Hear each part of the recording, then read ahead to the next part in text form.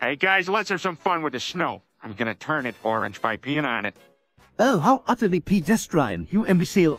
I shall turn the snow into a magnificent shade of violet by spraying it with a concoction of genetically modified plants and grape juice. Giggity giggity. I'm gonna turn the snow a kinky shade of red by inviting a few ladies over for a wild night of body paint and sensual snow rolling. Well, I'm gonna take it up a notch. I'm gonna turn the snow a vibrant shade of aquamarine by organizing a synchronized swimming performance in my backyard pool, and then splashing the water all over the snow.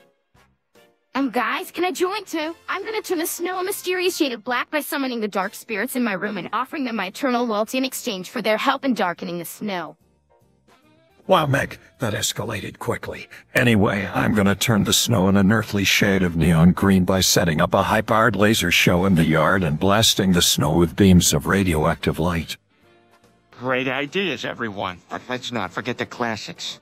I'm gonna add some pizzazz to the snow by throwing buckets of glitter all over it. We'll have the sparkly snow in town. Oh, Peter, how pedestrian yet again. Glitter is for amateurs. I shall retrieve the plutonium crystals from my secret vault and carefully place them on the snow, creating a glow in the dark spectacle that will astound the world.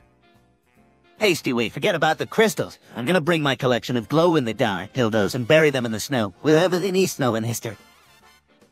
All right, Quagmire. You never fail to surprise us, but let's take it even further. I'm gonna borrow some nuclear waste from the power plant and dump it on the snow. We'll have the most radioactive snow ever.